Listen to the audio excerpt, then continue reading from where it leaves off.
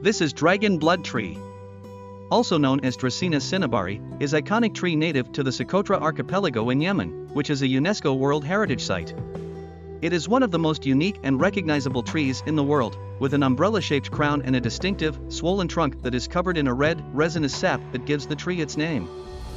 The sap of the dragon blood tree has a long history of use in traditional medicine and as a dye, and it has been traded for centuries throughout the Middle East and beyond.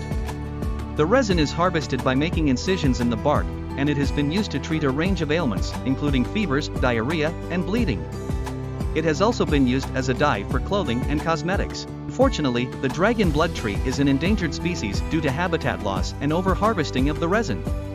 Efforts are being made to conserve the tree and its unique ecosystem. The Socotra Conservation Fund, which is supported by the United Nations Development Program, is one organization that is working to protect the dragon blood tree and other unique species on Socotra.